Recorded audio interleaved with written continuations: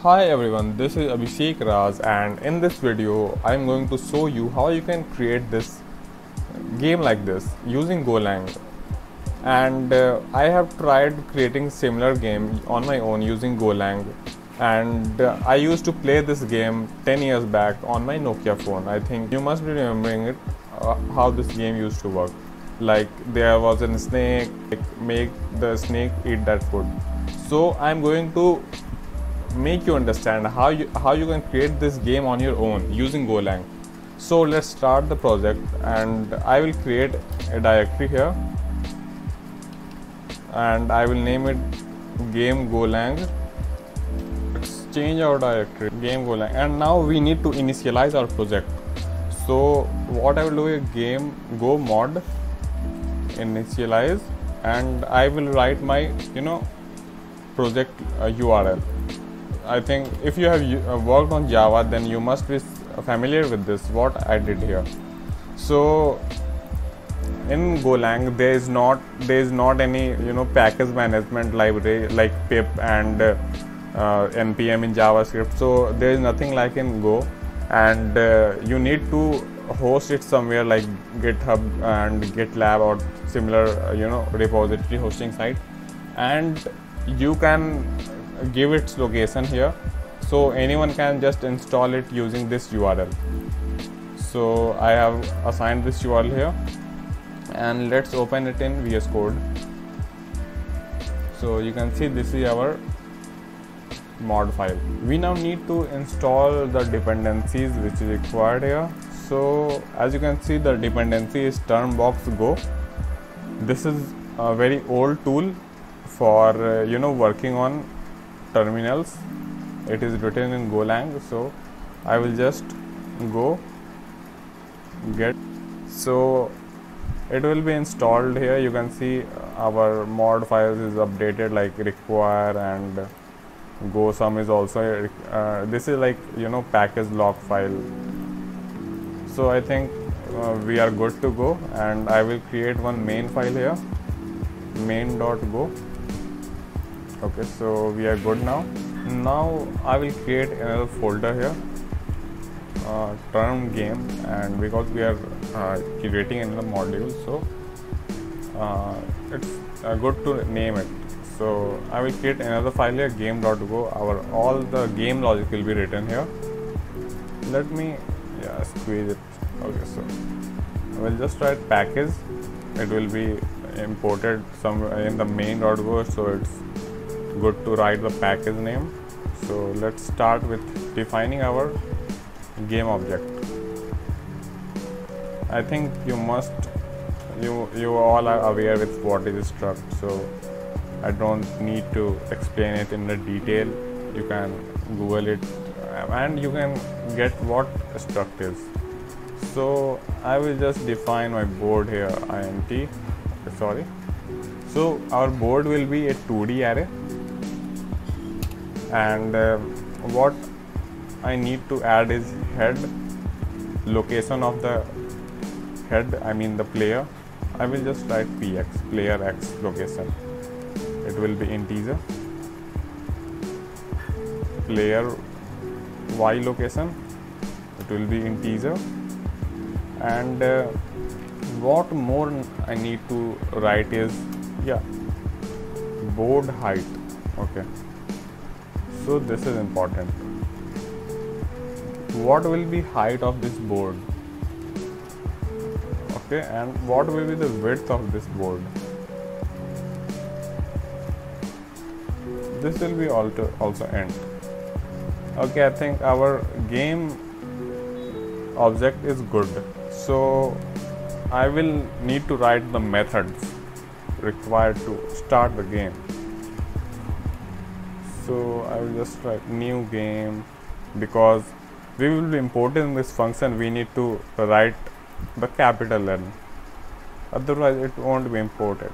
Now I will write the return type here because it's important. We need to return the game object like I mean pointer to the game object. And here I will create the game object using the new operator. Okay and I will assign game dot board height to 16 and game width to 16 let's make it simple. And uh, yeah it will return the game. That's it. We all we need just need to do this thing and i also need to do something. We need to reset our game i mean reset means it will initialize all values to the zero and it will just create a player object to its initial location. We just need to do this for now. And now we need to write our reset game. As you can see uh, we don't uh, this is small and this is capital because we need to import this in this main.go file but we don't need to import this file anywhere else. So i have written it small. So as you can see we have written this as a method not as a function. So I will just uh, write it here like this. As Golang is not an OOP language so but it has like already defined methods like how you can create this. If you place this here it will become I mean oh sorry. Yeah if you write like G star game so it will become a function but I'm making it a method. So it looks like you know the code readability and stuff. And what I will do is I will assign the board I mean I will create the board here. Its type will be uh, array I mean 2d array and its length will be its board height. And now we need to create a for loop. Okay. G dot board height okay. We need one more for loop. Will be j and uh, we need to create the width too so and initialize all the value to 0 okay and we will copy this here.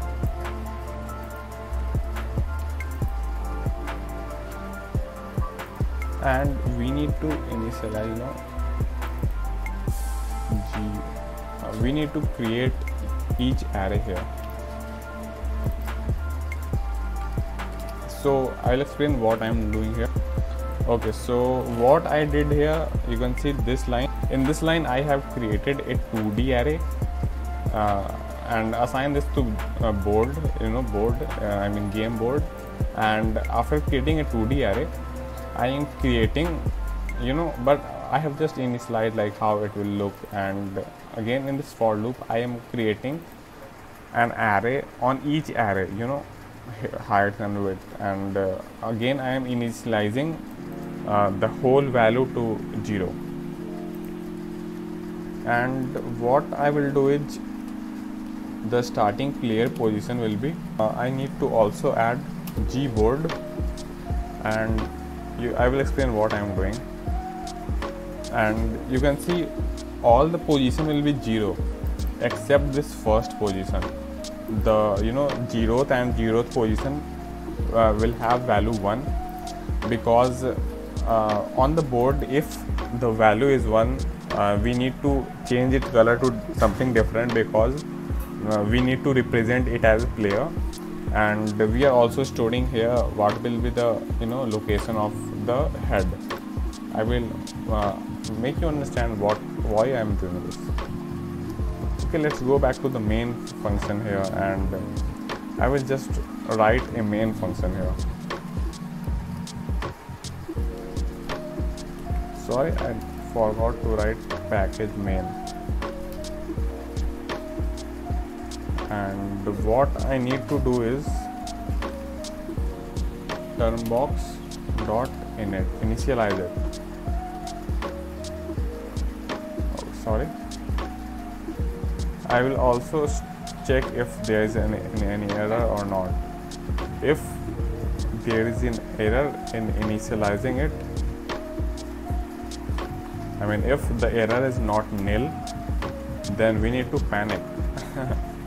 Seriously we need to panic when we see any error. And what I need to do is we need to close this. After this main function is closed. You know when the main function ends we need to close this termbox because it might you know uh, uh, it, it might you know uh, the terminal might get some problem. Okay so what this defer will do when this main function is over i mean uh, ends then it will execute this this code. That's it. Uh, that's the use of this defer. This is a very good thing in golang. Okay so now we need to create channels.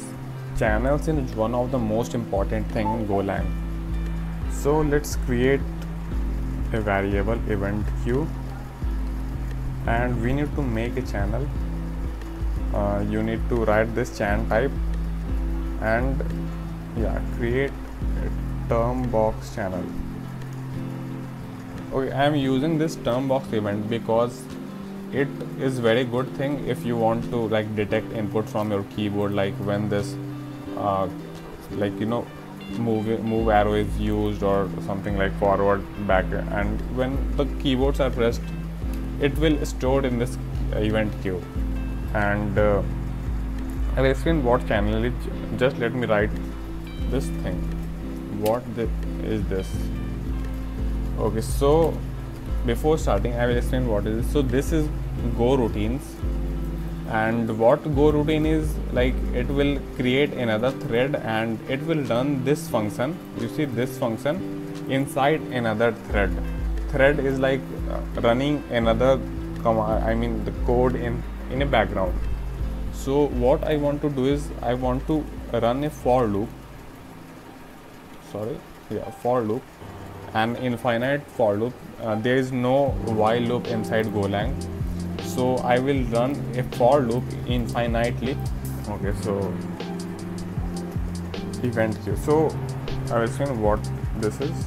Sorry so term box poll event okay so what this will do is it will run a for loop uh, like uh, in it will run in background continuously and whenever poll event means whenever any keyboard is pressed i mean the button on a keyboard is pressed it will directly send that input to, to this event queue. Like in this it will all run in background and it will send the live data in this queue. Ah, okay so what i need to do is now we need to define our game. So you know what? So term game dot new game. And we will store this in uh, i have already told like uh, we need to like return that game object. So we are storing this game object here. We need to write another method to render our game board which I, we have not written yet. So let's skip it. We will do this later. And uh, I will rewrite one more for loop uh, which will run continuously. And uh, I need to select. So what this does is it waits for any keyboard I mean any uh, you know change in any event queue. Like if anything is added in this event queue then it will you know it will wait for that event and it will just stop this uh, for loop till this event is not happened